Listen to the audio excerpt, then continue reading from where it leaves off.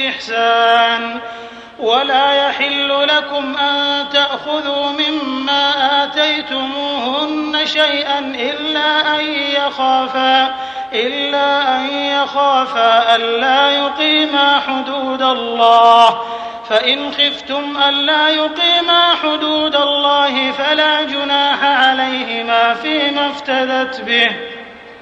تلك حدود الله فلا تعتدوها ومن يتعد حدود الله فأولئك هم الظالمون তালাক দুইবার দেয় অতঃপর হয় সোজাসুজি স্ত্রীকে ফিরাইয়া লইবে অন্যথায় সঠিক পন্থায় তাহাকে বিদায় করিয়া দিবে বিদায় দেওয়ার সময় এরূপ করা তোমাদের পক্ষে জায়েজ নহে যে তোমরা যাহা কিছুই তাহাদিগকে দিয়াছ তাহা হইতে কোনো কিছু ফিরাইয়া লইবে অবশ্য এই অবস্থা স্বতন্ত্র, যখন স্বামী স্ত্রী আল্লাহর নির্দিষ্ট বিধান অনুযায়ী জীবনযাপন করিতে পারিবে না বলিয়া আশঙ্কা বোধ করিবে।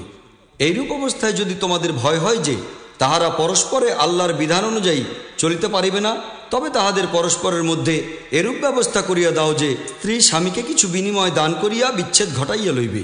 কিছুমাত্র দূষণীয় নহে। বস্তুত, ইহা আল্লাহর নির্দিষ্ট সীমা বিশেষ, ইহা অতিক্রম করিও না।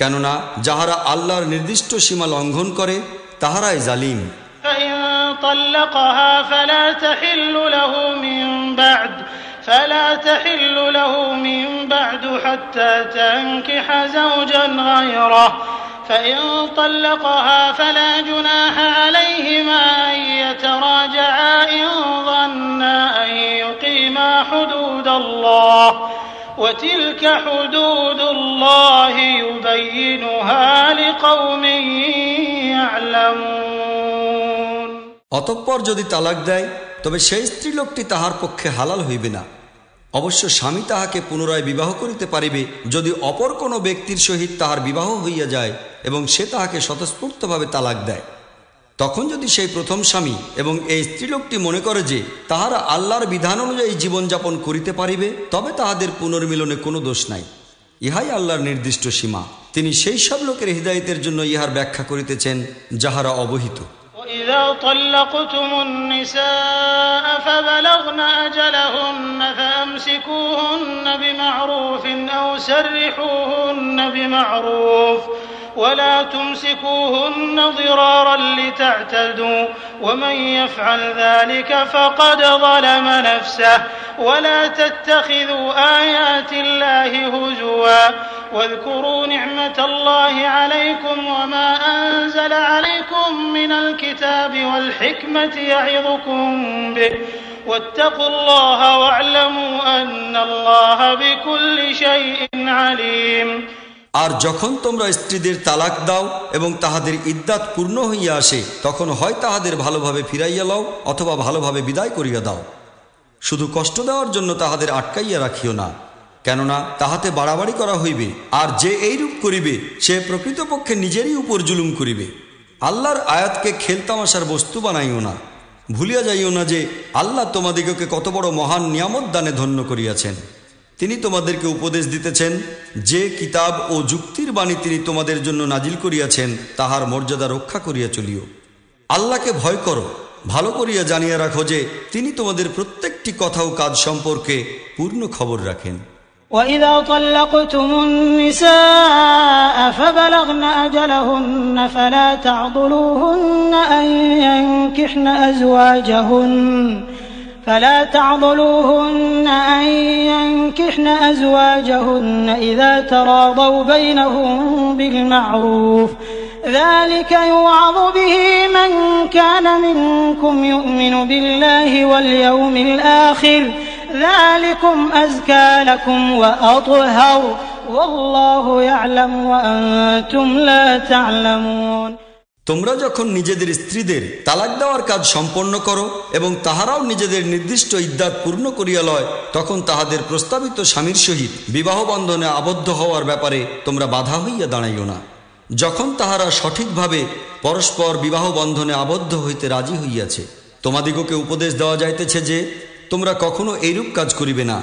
যদি তোমরা আল্লাহ ও পরকালের প্রতি ইমানদার হইয়া থাকো তবে তোমাদের পক্ষে শোভন ও পবিত্র কর্মনীতি এই হইতে পারে যে তোমরা এই ধরনের কাজ হইতে বিরত থাকিবে বস্তুত আল্লাহ জানেন তোমরা জানো না والوالدات يرضعن أولادهن حولين كاملين لمن أراد أن يتم الرضاعة وعلى المولود له رزقهن وكسوتهن بالمعروف لا تكلف نفس إلا وسعها لا تضار والدة بولدها ولا مولود له بولده وعلى الوارث مثل ذلك. فإن أرادا فصالا عن تراض منهما وتشاور فلا جناح عليهما.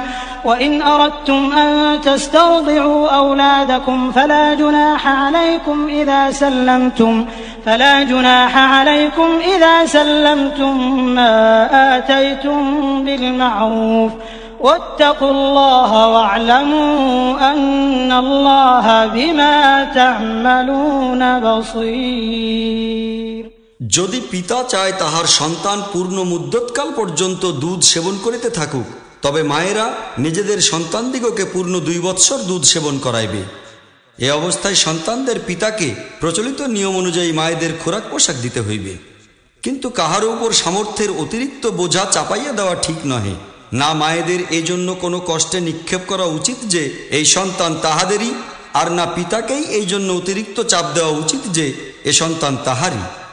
দুধদানকারিনীর এই অধিকার যেমন সন্তানদের পিতার উপর রহিয়াছে, তেমনি রহিয়াছে উহার উত্তরাধিকারীদের উপরও। কিন্তু উভয় পক্ষই যদি পারস্পরিক সন্তোষ ও পরামর্শের ভিত্তিতে দুধ ছাড়াইতে চায়, তবে এইরূপ করায় কোনো দোষ নাই। আর যদি তোমরা নিজেদের সন্তান দিগকে অন্য কোনো মেয়ে লোকের দুধ সেবন করাইবার ইচ্ছা করিয়া থাকো, তবে তাহাতেও কোনো দোষ হইতে পারে না। অবশ্য শর্ত এই যে, ইহার জন্য যে পারিশ্রমিক নির্দিষ্ট হইবে, তাহা যথারীতি আদায় করিবে। আল্লাহকে ভয় করো আর জানিয়া রাখিও তোমরা যাহা কিছু করো তাহা সবই আল্লাহ দেখিতে পান والذين يتوفون منكم ويذرون أزواجا يتربصن بأنفسهن أربعة أشهر وعشرا فإذا بلغن أجلهن فلا جناح عليكم فيما فعلن في أنفسهن بالمعروف والله بما تعملون خبير তোমাদের মধ্যে যাহারা মরিয়া যায়, তাহাদের পর তাহাদের স্ত্রীগণ যদি জীবিত থাকে, তবে তাহারা নিজ দিগকে চার মাস দশ দিন পর্যন্ত বিরত রাখিবে। অতঃপর যখন তাহাদের ইদ্যাত পূর্ণ হইয়া যাইবে, তখন তাহারা নিজেদের সম্পর্কে সঠিক পথে যাহা করিতে চাহিবে, তাহা করার তাহাদের ইখতিয়ার থাকিবে। তোমাদের উপর তাহাদের কোনো দায় দায়িত্ব অর্পিত হইবে না। আল্লাহ তোমাদের প্রত্যেকের কাজকর্ম সম্পর্কে অবহিত।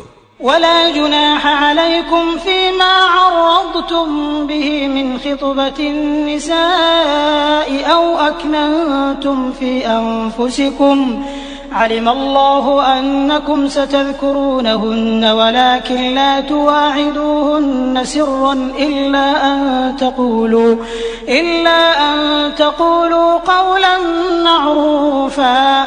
ولا تعزموا عقدة النكاح حتى يبلغ الكتاب أجله.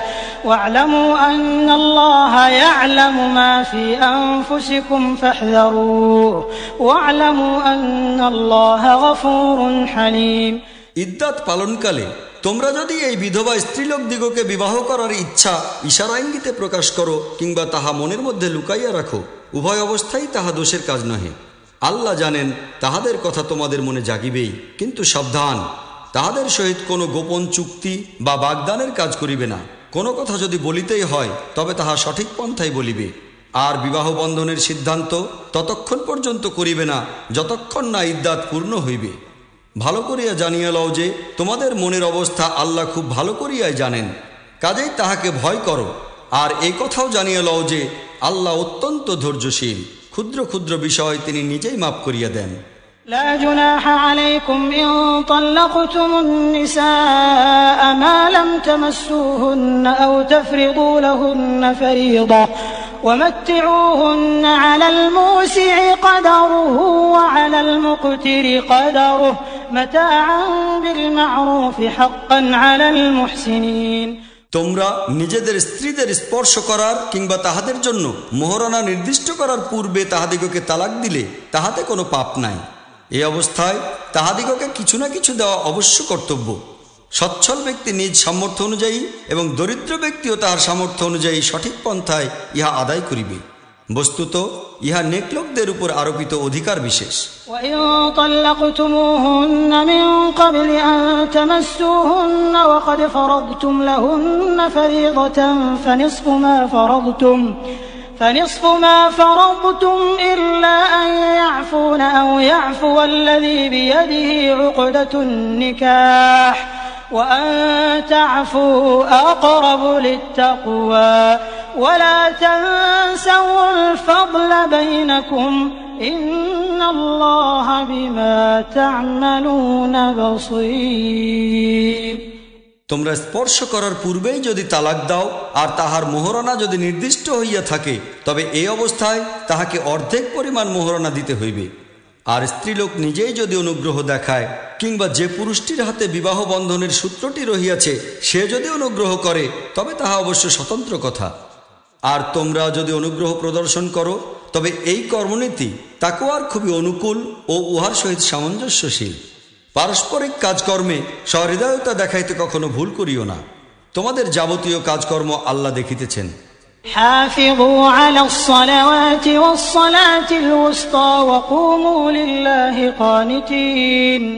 নিজেদের নামাজ সমূহের পূর্ণ হেফাজত করো।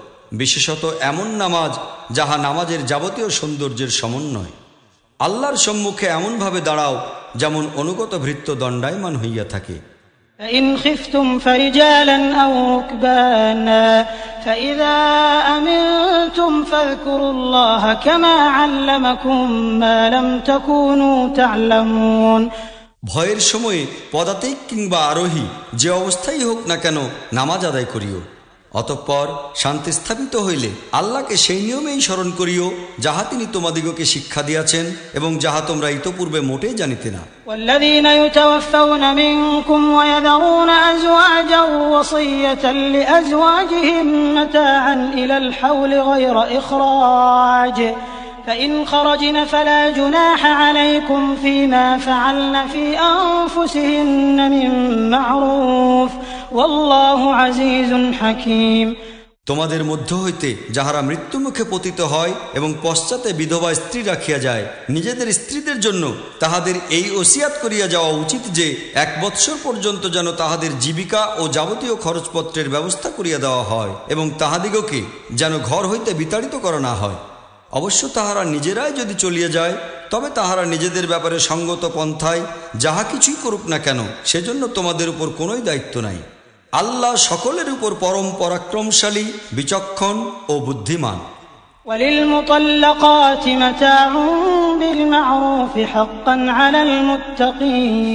অনুরূপভাবে যেসব স্ত্রীলোককে তালাক দেওয়া হইয়াছে তাহাদিগকে উপযুক্তভাবে কিছু না কিছু দিয়া বিদায় করা উচিত। ইহা মুত্তাকি লোকদের প্রতি আরোপিত কর্তব্য বিশেষ।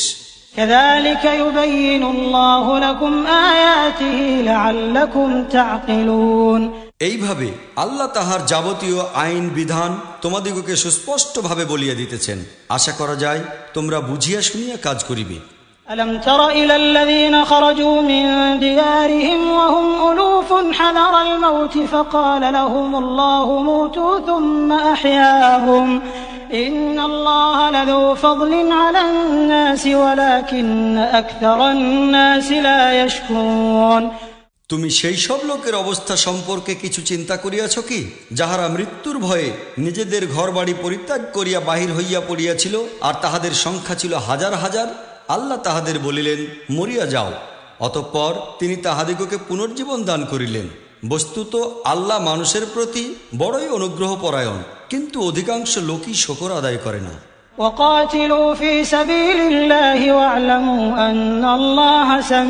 আলিম। হে মুসলিমগণ, আল্লাহর পথে লড়াই করো এবং খুব ভালোরূপে জানিয়ে রাখো যে আল্লাহ সব কিছু শুনেন এবং সব কিছু জানেন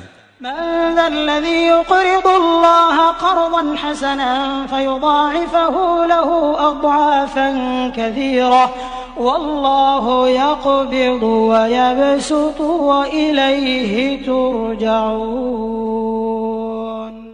তোমাদের মধ্যে এমন কে আছে যে আল্লাহকে কর্জে হাসানা দিতে প্রস্তুত তাহা হইলে আল্লাহ তাহাকে কয়েক গুণ বেশি ফিরাইয়া দিবেন হ্রাসবৃদ্ধি উভয়ই আল্লাহর হাতে নিবদ্ধ আর তাহার নিকটে তোমাদের ফিরিয়া যাইতে হইবে ألم تر إلى الملأ من بني إسرائيل من بعد موسى إذ قالوا لنبي له مبعث لنا ملكا إذ قالوا لنبي له مبعث لنا ملكا نقاتل في سبيل الله.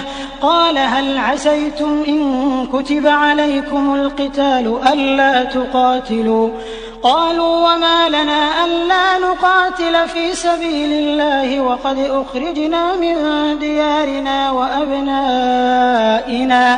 فلما كتب عليهم القتال تولوا إلا قليلا منهم والله عليم بالظالمين অনন্তর সেই ব্যাপারটি সম্পর্কেও তোমরা চিন্তা করিয়া দেখিয়াছ কি যাহা মুসার পরে এই বনি ইসরায়েলদের মধ্যে ঘটিয়াছিল তাহারা নিজেদের নবীকে বলিয়াছিল আমাদের জন্য একজন বাদশাহ নিযুক্ত করিয়া দাও যেন আমরা আল্লাহর পথে লড়াই করিতে পারি নবী জিজ্ঞাসা করিলেন, তোমাদের প্রতি লড়াই করার নির্দেশ দিলে পরে তোমরা লড়াই করিতে অস্বীকার করিবে না তো? তাহারা বলিল, ইহা কিরূপে হইতে পারে যে আমরা আল্লাহর পথে লড়াই করিব না? বিশেষত আমাদিগকে যখন আমাদের ঘরবাড়ি হইতে বহিষ্কার করা হইয়াছে আর আমাদের সন্তানদেরকে আমাদের হইতে বিচ্ছিন্ন করিয়া দেওয়া হইয়াছে? কিন্তু যখন তাহাদেরকে লড়াই করার নির্দেশ দেওয়া হইল, তখন অতি অল্প সংখ্যক লোক ছাড়া তাহারা সকলেই পৃষ্ঠ প্রদর্শন করিল। আল্লাহ তাহাদের প্রতিটি জালিমকে জানেন ও চিনেন। وقال لهم نبيهم إن الله قد بعث لكم طالوت ملكا قالوا أنا يكون له الملك علينا ونحن أحق بالملك منه ولم يؤت سعة من المال قال إن الله اصطفاه عليكم وزاده بسطة في العلم والجسم والله يؤتي ملكه من يشاء والله واسع عليم তাহাদের নবী তাহাদেরকে বলিল আল্লাহ তালুদকে তোমাদের জন্য বাদশাহ নিযুক্ত করিয়াছেন ইহা শুনিয়া তাহারা বলিল আমাদের উপর বাদশাহ হইয়া বসার তাহার কি অধিকার আছে বাদশাহ হওয়ার অধিকারী তাহার অপেক্ষা আমরাই বেশি সে তো কোনো বড় ধনী ব্যক্তি নয় নবী উত্তরে বলিল আল্লাহ তোমাদের পরিবর্তে তাহাকে মনোনীত করিয়াছেন এবং তাহাকেই শারীরিক ও মানসিক উভয় প্রকারের প্রচুর যোগ্যতা দান করিয়াছেন বস্তুত আল্লাহ যাহাকে চান তাহাকেই তাহার রাজ্য দানের ইখতিয়ার রহিয়াছে আল্লাহ কোথাও সংকীর্ণতার মধ্যে লিপ্ত নন এবং সবকিছুই তাহার জ্ঞানের আওতাভুক্ত وقال لهم نبيهم إن آية ملكه أن يأتيكم التابوت فيه سكينة من ربكم وبقية وبقية مما ترك آل موسى وآل هارون تحمله الملائكة. إن في ذلك لآية لكم إن كنتم مؤمنين. সেই সঙ্গে তাহাদের নবী এই কথাও তাহাদিগকে বলিয়া দিল যে, আল্লাহর তরফ হইতে তাহার বাদশাহ নিযুক্ত হওয়ার নিদর্শন এই যে, তাহার আমলে সেই সিন্ধুক তোমরা ফিরিয়া পাইবে, যাহাতে তোমাদের রবের নিকট হইতে তোমাদের মনের সান্ত্বনার সামগ্রী রহিয়াছে। যাহাতে মুসা ও হারুনের উত্তরাধিকারীদের অবশিষ্ট বরকতপূর্ণ জিনিসগুলি রহিয়াছে এবং যাহা এখন ফেরেস্তাগণ ধারণ করিয়া আছে। বস্তুত, তোমরা ইমানদার হইলে ইহার মধ্যে তোমাদের জন্য বিরাট নিদর্শন রহিয়াছে। فلما فصل طالوت بالجنود قال إن الله مبتليكم بنهر فمن شرب منه فليس مني ومن لم يطعمه فإنه مني إلا من اغترف غرفة بيده.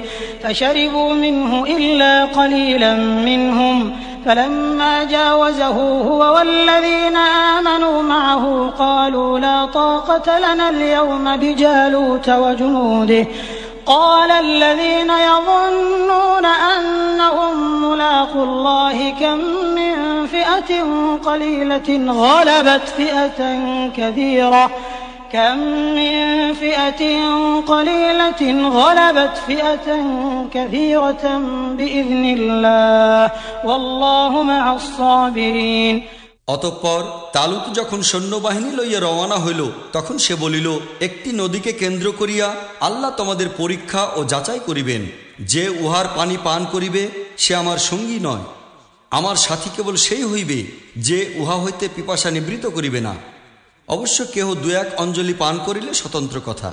কিন্তু একটি ক্ষুদ্র দল ছাড়া আর সকলেই তাহা হইতে আকণ্ঠ পান করিয়া পরিতৃপ্ত হইল। ইহার পর তালুত এবং তাহার সহযাত্রী ইমানদারগণ যখন নদী পার হইয়া সম্মুখের দিকে অগ্রসর হইল, তখন তাহারা তালুতকে বলিল, আজ জালুত এবং তাহার সৈন্যবাহিনীর সহিত মোকাবেলা করিবার কোনো শক্তি আমাদের মধ্যে নাই।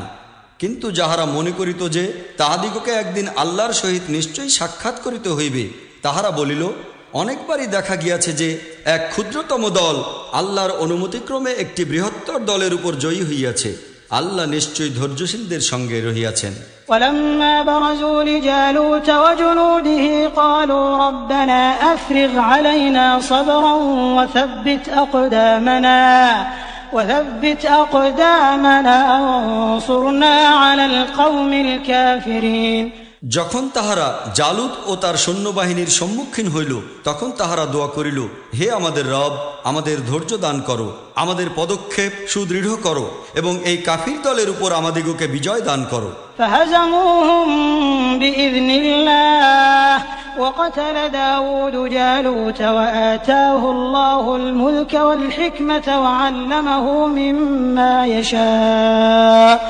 ولولا دفع الله الناس بعضهم ببعض لفسدت الأرض لفسدت الأرض ولكن الله ذو فضل على العالمين শেষ পর্যন্ত আল্লাহর অনুমতিক্রমেই তাহারা কাফির দিগকে পরাজিত করিয়া দিল এবং দাউদ জালুদকে হত্যা করিল আল্লাহ তাহাকে রাজত্ব ও বিচক্ষণতা দিয়া ভূষিত করিলেন এবং তাহার নিজ ইচ্ছা অনুযায়ী বিভিন্ন জিনিসের উপর জ্ঞান দান করিলেন আল্লাহ যদি এইভাবে মানুষের একটি দলকে অপর একটি দলের দ্বারা দমন না করিতেন তবে পৃথিবীর শৃঙ্খলা নষ্ট হইয়া যাইত।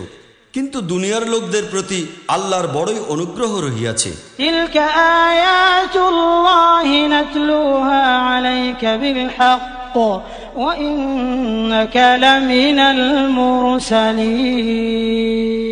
এই সবই আল্লাহর নিদর্শন।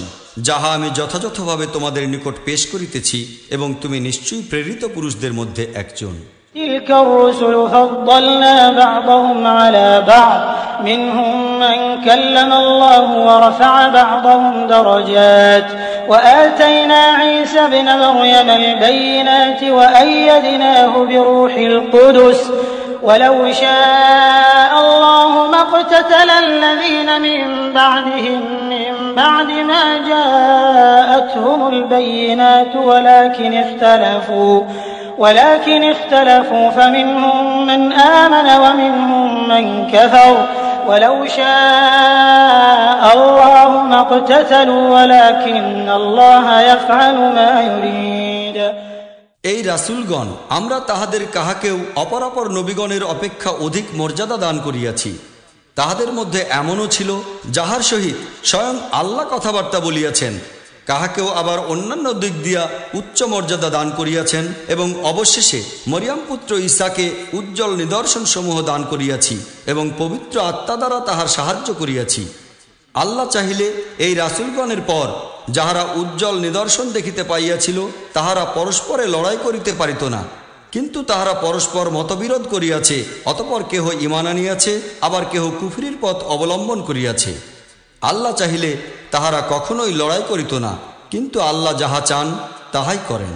يا أيها الذين آمنوا أنفقوا مما رزقناكم من قبل أن يأتي يوم لا بيع فيه ولا خلة ولا خلة ولا شفاعة والكافرون هم الظالمون হে ইমানদারগণ যাহা কিছু অর্থ সম্পদ আমরা তোমাদিগকে দান করিয়াছি তাহা হইতে ব্যয় করো সেই দিনটি উপস্থিত হওয়ার পূর্বে যেদিন না ক্রয় বিক্রয় হইবে না বন্ধুত্ব কোনো কাজে আসিবে আর না চলিবে কোনো সুপারিশ প্রকৃত জালিম তাহারাই যাহারা কুফরির নীতি অবলম্বন করে الله لا إله إلا هو الحي القيوم لا تأخذه سنة ولا نوم له ما في السماوات وما في الأرض من ذا الذي يشفع عنده إلا بإذنه يعلم ما بين أيديهم وما خلفهم ولا يحيطون بشيء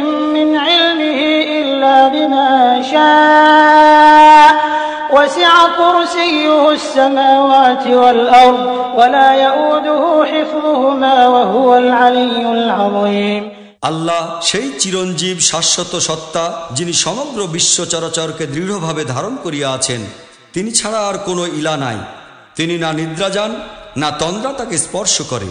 আকাশমণ্ডল ও পৃথিবীতে যাহা কিছু আছে, সব তাহারই। কে এমন আছে যে তাহার দরবারে তাহার অনুমতি ব্যতীত সুপারিশ করিতে পারে? যাহা কিছু বান্দাদের সম্মুখে রহিয়াছে, তাহাও তিনি জানেন, আর যাহা কিছু তাহাদের অগচরে, সে সম্পর্কেও তিনি ওয়াকিফাল তাহার জ্ঞাত বিষয়সমূহের মধ্য হইতে কোনো জিনিসই তাহাদের জ্ঞানসীমার আয়ত্তাধীন হইতে পারে না। অবশ্য কোনো বিষয়ের জ্ঞান তিনি নিজেই যদি কাহাকেও দান করিতে চাহেন। তাহার কর্তৃত্ব সমগ্র আকাশমণ্ডল ও পৃথিবীকে পরিবেষ্টন করিয়া আছে। ঐসবের রক্ষণাবেক্ষণ এমন কোনো কাজ নহে যাহা তাহাকে ক্লান্ত করিয়া দিতে পারে। বস্তুত তিনি এক মহান ও শ্রেষ্ঠতম সত্তা لا إكراه في الدين قد تبين الرشد من الغي فمن يكفر بالطاغوت ويؤمن بالله فقد استمسك بالعروة الوثقى لا انفصام لها والله سميع عليم দিনের ব্যাপারে কোনো জবরদস্তি নাই প্রকৃত শুদ্ধ ও নির্ভুল কথা সুস্পষ্ট এবং ভুল চিন্তাধারা হইতে সম্পূর্ণ পৃথক হইয়া গিয়াছে এখন যে কেহ তাগুতকে অস্বীকার করিয়া আল্লাহর প্রতি ইমান আনিয়াছে সে এমন এক শক্তিশালী অবলম্বন ধরিয়াছে যাহা কখনোই ছিঁড়িয়া যাইবার নয় এবং আল্লাহ সবকিছু শ্রবণ করেন ও সবকিছু জানেন الله ولي الذين آمنوا يخرجهم من الظلمات إلى النور والذين كفروا أولياؤهم الطاغوت يخرجونهم من النور إلى الظلمات أولئك أصحاب النار هم فيها خالدون যাহারা ইমান আনে তাহাদের সাহায্যকারী ও পৃষ্ঠপোষক হইতেছেন আল্লাহ তিনি তাহাদিগকে অন্ধকার হইতে আলোকের দিকে বাহির করিয়া আনেন আর যাহারা কুফরি অবলম্বন করে তাহাদের সাহায্যকারী ও পৃষ্ঠপোষক হইতেছে তাগুত উহা তাহাদিগকে আলো হইতে অন্ধকারের দিকে টানিয়া লইয়া যায় ইহারা হইবে জাহান্নামি সেখানে তাহারা চিরদিন থাকিবে ألم تر إلى الذي حاج إبراهيم في ربه أن آتاه الله الملك إذ قال إبراهيم ربي الذي يحيي ويميت قال أنا أحيي وأميت قال إبراهيم فإن الله يأتي بالشمس من المشرق فأت بها من المغرب فبهت الذي كفر والله لا يهدي القوم الظالمين তুমি কি সেই ব্যক্তির অবস্থা চিন্তা করো নাই যে ব্যক্তি ইব্রাহিমের সহিত তর্ক করিয়াছিল তর্ক হইয়াছিল এই কথা লইয়া যে ইব্রাহিমের রব কে এবং তাহা হইয়াছিল এই জন্য যে আল্লাহ তাহাকে রাজত্ব দান করিয়াছিলেন যখন ইব্রাহিম বলিল, আমার রব তিনি জীবন ও মৃত্যু যাহার ইখতিয়ারভুক্ত। তখন সে উত্তর দিল, জীবন ও মৃত্যু তো আমার ইখতিয়ারে রহিয়াছে। ইব্রাহিম বলিল, তাহাই যদি সত্য হয়, তবে আল্লাহ তো সূর্যকে পূর্ব দিক হইতে উদয় করেন। তুমি একবার উহাকে পশ্চিম দিক হইতে উদয় করাইয়া দেখাও। এই কথা শুনিয়া সত্যের দুশ্মন নিরুত্তর ও বিমূঢ় হইয়া গেল। কিন্তু আল্লাহ জালিমকে কখনো সঠিক পথ দেখান না। أو كالذي مر على قرية وهي خاوية على عروشها قال أنا يحيي هذه الله بعد موتها فأماته الله مئة عام ثم بعثه. قال كم لبثت؟ قال لبثت يوما أو بعض يوم قال بل لبثت مئة عام. فانظر إلى طعامك وشرابك لم يتسنه وانظر إلى حمارك ولنجعلك آية للناس وانظر إلى العظام كيف ننشزها ثم نكسوها لحما. فلما تبين له قال أعلم أن الله على كل شيء قدير. অথবা দৃষ্টান্ত স্বরূপ সেই ব্যক্তির প্রতি লক্ষ্য করো, যে এমন একটি জনপদ অতিক্রম করিতেছিল, যাহার বাড়িঘরগুলি ভাঙিয়া নিজ নিজ ছাদের উপর উপর হইয়া পড়িয়াছিল।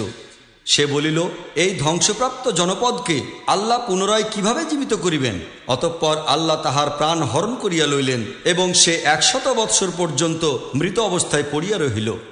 তারপর আল্লাহ তাহাকে পুনরুজ্জীবিত করিলেন এবং জিজ্ঞাসা করিলেন বলো, কতকাল পড়িয়াছিলে? সে বলিল, একদিন বা কয়েক ঘণ্টা মাত্র ছিলাম। আল্লাহ বলিলেন, তোমার উপর দিয়া এমনি অবস্থায় এক শতটি বৎসর অতিবাহিত হইয়া গিয়াছে। এখন তোমার খাদ্য ও পানীয় একবার পরীক্ষা করিয়া দেখো, তাহাতে বিন্দুমাত্র পরিবর্তন দেখা দেয় নাই। অপরদিকে একবার তোমার গাধাটাকেও দেখো। আর আমরা ইহা এই জন্যই করিয়াছি যে, আমরা তোমাকে জনগণের জন্য একটি নিদর্শন বানাইয়া দিতে চাই।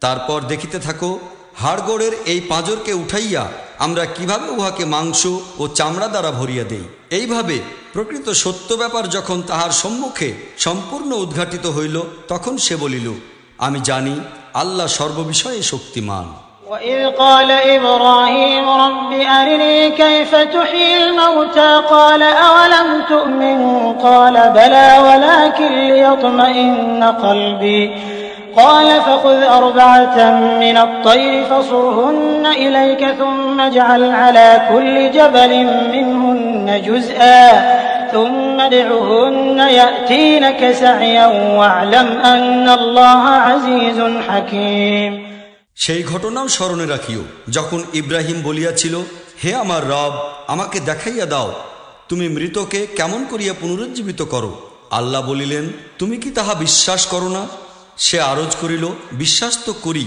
কিন্তু শুধু মনের সান্ত্বনা প্রয়োজন। আল্লাহ বলিলেন, তবে তুমি চারটি পাখি ধরো এবং ওইগুলিকে নিজের সহিত সুপরিচিত করিয়া লও। তারপর উহাদের এক একটি অংশ এক একটি পাহাড়ের উপর রাখিয়া দাও এবং অতঃপর উহাদের ডাকো, উহারা তোমার নিকট দৌড়াইয়া আসিবে। ভালো করিয়া জানিয়া রাখো যে, আল্লাহ মহাপরাক্রমশালী ও অতিশয় কুশলী। مثل الذين ينفقون أموالهم في سبيل الله كمثل حبة أنبتت سبع سنابل في كل سنبلة مئة حبة والله يضاعف لمن يشاء والله واسع عليم যাহারা নিজের ধন সম্পদ আল্লাহর পথে খরচ করে তাহাদের খরচের দৃষ্টান্ত এই যেমন একটি বীজ বপন করা হইল এবং তাহা হইতে সাতটি ছড়া বাহির হইল আর প্রত্যেকটি ছড়াই একশতটি দানা রহিয়াছে আল্লাহ যাহাকে চান তাহার কাজে এইভাবেই প্রাচুর্য দান করেন তিনি উদার হস্তও বটে এবং সর্বাভিজ্ঞ الذين ينفقون أموالهم في سبيل الله ثم لا يتبعون ما أنفقوا منا ولا أذى منا ولا أذى لهم أجرهم عند ربهم ولا خوف عليهم ولا هم يحزنون যাহারা নিজেদের ধন সম্পদ আল্লাহর পথে খরচ করে এবং খরচ করিয়া উহার প্রতিদান চাহিয়া বেড়ায় না কোনো প্রকার কষ্ট দেয় না তাহাদের প্রতিফল তাহাদের রবের নিকট সুরক্ষিত রহিয়াছে এবং তাহাদের কোনো চিন্তা ও ভয়ের কারণ নাই قول معروف ومغفرة خير من صدقة يتبعها أذى والله غني حليم একটু মিষ্ট কথা এবং কোনো অপ্রিয় ব্যাপারে সামান্য উদারতা দেখানো সেই দান অপেক্ষা ভালো যাহার পিছনে আসে দুঃখ ও তিক্ততা আল্লাহ কাহারও মুখাপেক্ষী নহেন তিনি ধৈর্য ও সহিষ্ণুতা গুণে ভূষিত يا أيها الذين آمنوا لا تبطلوا صدقاتكم بالمن والأذى كالذي ينفق ماله رئاء الناس ولا يؤمن ولا يؤمن بالله واليوم الآخر فمثله كمثل صفوان عليه تراب فأصابه وابل فتركه صلدا لا يقدرون على شيء مما كسبوا والله لا يهدي القوم الكافرين হে ইমানদারগণ তোমরা নিজেদের দান খয়রাতের কথা বলিয়া এবং কষ্ট দিয়া উহাকে সেই ব্যক্তির ন্যায় নষ্ট করিও না। যে ব্যক্তি শুধু লোকদের দেখাইবার উদ্দেশ্যেই নিজের ধনমাল ব্যয় করে, আর না আল্লাহর প্রতি ইমান রাখে, না পরকালের প্রতি। তাহার খরচের দৃষ্টান্ত এইরূপ, যেমন একটি পাথুরে চাতাল, যাহার উপর মাটির আস্তর পড়িয়াছিল, ইহার উপর যখন মুসলধারে বৃষ্টি পড়িল, তখন সমস্ত মাটি ধুইয়া বহিয়া গেল, এবং গোটা চাতালটি নির্মল ও পরিষ্কার হইয়া পড়িয়া রহিল।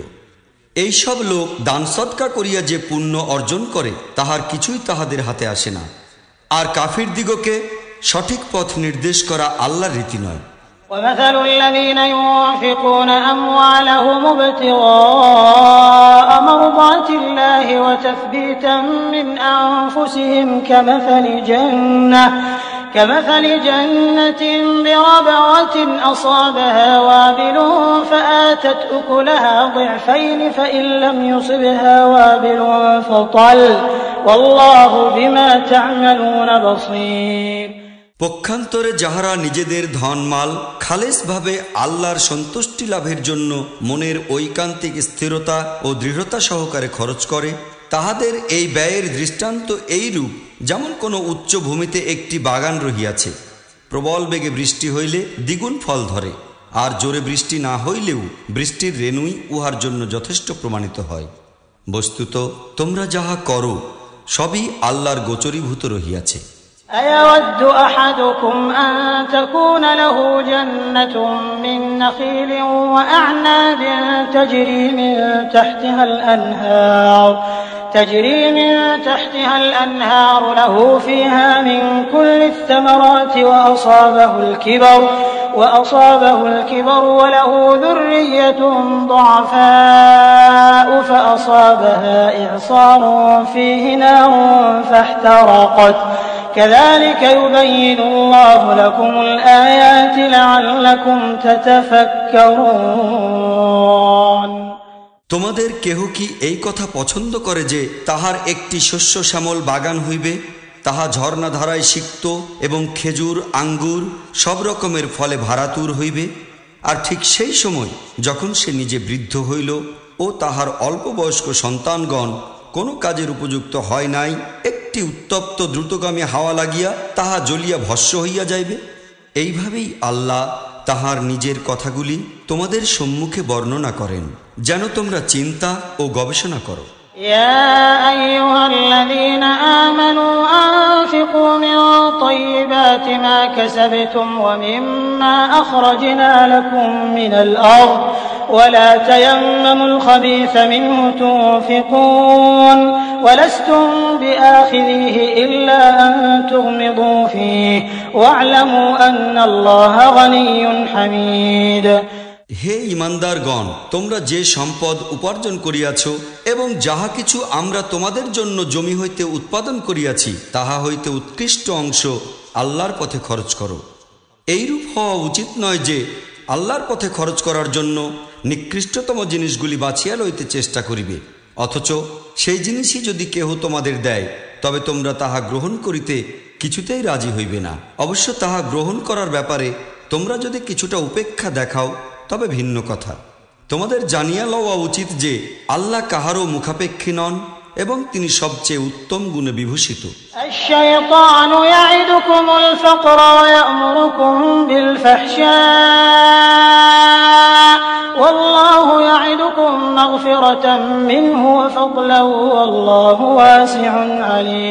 শয়তান তোমাদিগকে দারিদ্রের কথা বলিয়া ভয় দেখায় এবং লজ্জাকর কর্মনীতি অবলম্বন করিতে প্রলুব্ধ করে কিন্তু আল্লাহ তোমাদিগকে ক্ষমা ও অনুগ্রহের আশা প্রদান করেন আল্লাহ বড়ই উদারহস্ত ও সর্বজ্ঞ يؤتي الحكمة من يشاء ومن يؤت الحكمة فقد أوتي خيرا كثيرا وما يذكر إلا أولو الألباب তিনি যাহাকে চান জ্ঞান ও প্রজ্ঞা দান করেন আর যে ব্যক্তি এই জ্ঞান ও প্রজ্ঞা লাভ করিল প্রকৃতপক্ষে সে বিরাট সম্পদ লাভ করিল এইসব কথা হইতে তাহারাই শিক্ষা ও উপদেশ গ্রহণ করিতে পারে যাহারা বুদ্ধিমান وما أنفقتم من نفقة أو نذرتم من نذر فإن الله يعلم وما للظالمين من أنصار তোমরা যাহা কিছুই খরচ করিয়াছ এবং যে মানতি মানিয়াছ আল্লাহ তাহা ভালোভাবেই জানেন প্রকৃতপক্ষে জালিমদের কেহই সাহায্যকারী নাই إن تبدوا الصدقات فنعما هي وإن تخفوها وتؤتوها الفقراء فهو خير لكم ويكفر عنكم من سيئاتكم والله بما تعملون خبير তোমরা তোমাদের দান সদকা যদি প্রকাশ্যভাবে দাও তবে তাহাও ভালো আর যদি গোপনে অভাবী লোকদিগকে দাও তবে তাহা তোমাদের পক্ষে বেশি ভালো এইরূপ কাজের ফলে তোমাদের বহু সংখ্যক পাপ নিশ্চিহ্ন হইয়া যায় আর তোমরা যাহা কিছুই করো নিশ্চয়ই আল্লাহ উহার খবর রাখেন ليس عليك هداهم ولكن الله يهدي من يشاء وما تنفقوا من خير فلأنفسكم وما تنفقون إلا ابتغاء وجه الله وما تنفقوا من خير يوفى إليكم وأنتم لا تظلمون লোকদের হিদায়ত দান করার দায়িত্ব তোমাদের উপর নয় হিদায়ত তো আল্লাহ যাহাকে চান দান করেন আর দান খয়রাতে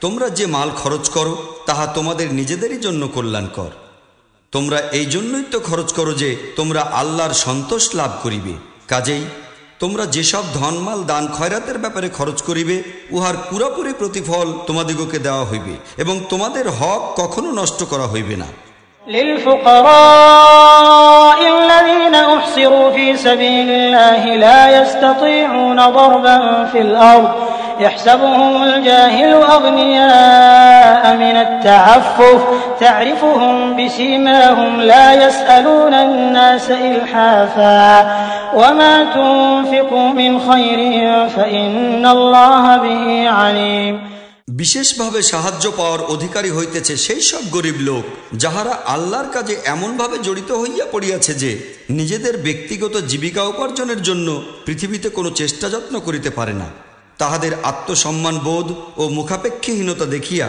অজ্ঞ লোকেরা তাহাদিগকে সচ্ছল অবস্থার লোক বলিয়া ধারণা করে। তুমি তাহাদের চেহারা দেখিয়াই তাহাদের ভিতরকার অবস্থা বুঝিতে পারো।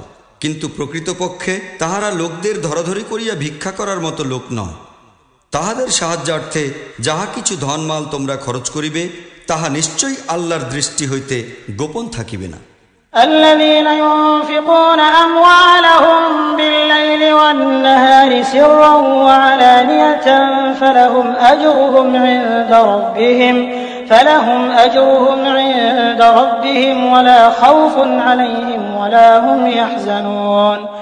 যাহারা নিজেদের ধনমাল রাত্রদিন গোপনে ও প্রকাশ্যে খরচ করে তাহাদের প্রতিফল তাহাদের রবের নিকটই প্রাপ্য রহিয়াছে এবং তাহাদের জন্য কোনো ভয় ও চিন্তার কারণ নাই الذين يأكلون الربا لا يقومون إلا كما يقوم الذي يتخبطه الشيطان من المس ذلك بأنهم قالوا إنما البيع مثل الربا وأحل الله البيع وحرم الربا فمن جاءه موعظة من ربه فانتهى فله ما سلف فله ما سلف وأمره إلى الله ومن عاد فأولئك أصحاب النار هم فيها خالدون কিন্তু যাহারা সুদ খায় তাহাদের অবস্থা হয় সেই ব্যক্তির মতো, যাহাকে শয়তান আপন স্পর্শ দ্বারা পাগল ও সুস্থ জ্ঞান শূন্য করিয়া দিয়াছে। তাহাদের এইরূপ অবস্থা হওয়ার কারণ এই যে, তাহারা বলে, ব্যবসায় তো সুদের মতোই জিনিস, অথচ আল্লাহ ব্যবসায়ীকে হালাল করিয়াছেন ও সুদকে করিয়াছেন হারাম। কাজেই যে ব্যক্তির নিকট তাহার রবের তরফ হইতে এই উপদেশ পৌঁছিবে এবং ভবিষ্যতে এই সুদখরি হইতে বিরত থাকিবে, সে পূর্বে যাহা কিছু খাইয়াছে, তাহা তো খাইয়াছে। সেই ব্যাপারটি সম্পূর্ণরূপে আল্লাহরই উপর সোপর্দ। আর যাহারা এই নির্দেশ পাওয়ার পরও ইহার পুনরাবৃত্তি করিবে তাহারা নিশ্চিত রূপে জাহান্নামি হইবে সেখানে তাহারা চিরকাল থাকিবে।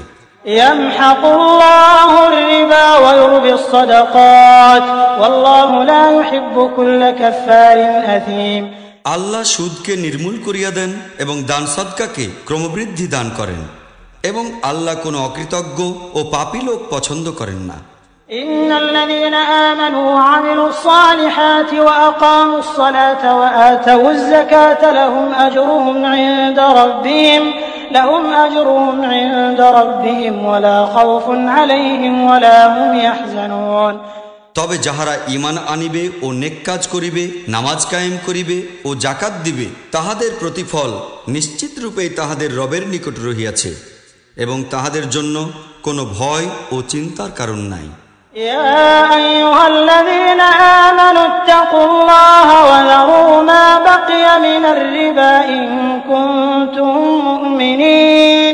হে ইমানদারগণ আল্লাহকে ভয় করো আর তোমাদের যে সুদ লোকদের নিকট পাওনা রহিয়াছে তাহা ছাড়িয়া দাও। যদি বাস্তবিকই তোমরা ইমানদার হইয়া থাকো।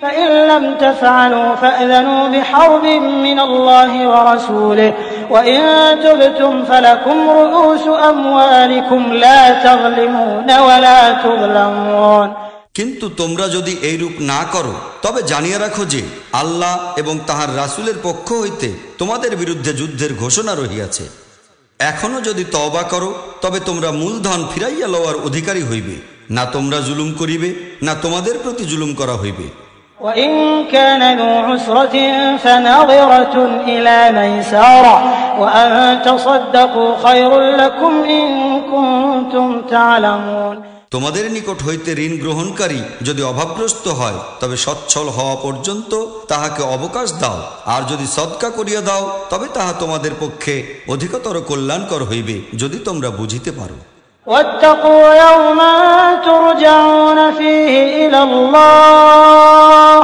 ثم توفى كل نفس ما كسبت وهم لا يظلمون আর সেই দিনের লাঞ্ছনা ও বিপদ হইতে আত্মরক্ষা করো যেদিন তোমরা আল্লাহর দিকে ফিরিয়া যাইবে তথায় প্রত্যেক ব্যক্তিকে তাহার উপার্জিত পাপ কিংবা পুণ্যের পুরাপুরি ফল দান করা হইবে এবং কখনোই কাহারও উপর জুলুম করা হইবে না يا أيها الذين آمنوا إذا تداينتم بدين إلى أجل مسمى فاكتبوه وليكتب بينكم كاتب بالعدل ولا يأب كاتب أن يكتب كما علمه الله فليكتب وليملل الذي عليه الحق وليتق الله ربه ولا يبخس منه شيئا. فإن كان الذي عليه الحق سفيها أو ضعيفا أو لا يستطيع أن يمله أو لا يستطيع أن يمله فليملل وليه بالعدل. واستشهدوا شهيدين من رجالكم. فإن لم يكونا رجلين فرجل وامرأتان ممن ترضون من الشهداء. ممن ترضون من الشهداء أن تضل إحداهما فتذكر إحداهما الأخرى. ولا يأبى الشهداء إذا ما دعوا. ولا تسأموا أن تكتبوه صغيرا أو كبيرا إلى أجله. ذلكم أقسط عند الله وأقوم للشهادة وأدنى ألا ترتابوا إلا أن تكون تجارة. إلا أن تكون تجارة حاضرة تديرونها بينكم فليس عليكم جناح ألا تكتبوها وأشهدوا إذا تبايعتم ولا يضار كاتب ولا شهيد وإن تفعلوا فإنه فسوق بكم واتقوا الله ويعلمكم الله والله بكل شيء عليم হে ইমানদারগণ, যদি কোনো নির্দিষ্ট মেয়াদের জন্য তোমরা পরস্পর ঋণের লেনদেন করো, তবে তাহা লিখিয়া লইও। এক ব্যক্তি উভয় পক্ষের মধ্যে সুবিচার সহ দস্তাবেজ লিখিয়া দিবে। আল্লাহ যাহাকে লেখাপড়ার যোগ্যতা দান করিয়াছেন, লিখিবার কাজ অস্বীকার করা তাহার উচিত নহে, বরং সে লিখিবে। আর লিখাইবে, লেখার বিষয়বস্তু বলিয়া দিবে সেই ব্যক্তি যাহার উপর এই ঋণ চাপিতেছে। স্বীয় রব আল্লাহকে তাহার ভয় করা উচিত। যেসব কথাবার্তা ঠিক করা হইয়াছে, তাহাতে যেন কোনো প্রকার কম বেশি করা না হয়। কিন্তু ঋণ গ্রহীতা যদি অজ্ঞ, নির্বোধ কিংবা দুর্বল হয়, অথবা সে যদি লেখার বিষয়বস্তু বলিয়া দিতে না পারে, তবে তাহার অভিভাবক ইনসাফ সহকারে লিখাইয়া দিবে। অতঃপর তোমাদের পুরুষদের মধ্য হইতে দুজনকে উহার সাক্ষী বানাইয়া লও। দুইজন পুরুষ পাওয়া না গেলে একজন পুরুষ ও দুইজন স্ত্রীলোক সাক্ষী হইবে। যেন একজন ভুলিয়া গেলে অপরজন তাহাকে স্মরণ করাইয়া দেয়। এই সাক্ষী এমন লোকদের মধ্য হইতে হওয়া উচিত, যাহাদের সাক্ষ্য তোমাদের নিকট গ্রহণীয়। সাক্ষীদের যখন সাক্ষী হইতে বলা হইবে, তখন তাহাদের অস্বীকার করা উচিত নহে। ব্যাপার ছোট হোক কি বড়, মেয়াদ নির্দিষ্ট করিয়া উহার দস্তাবেজ লিখিয়া লওয়াকে উপেক্ষা করিও না।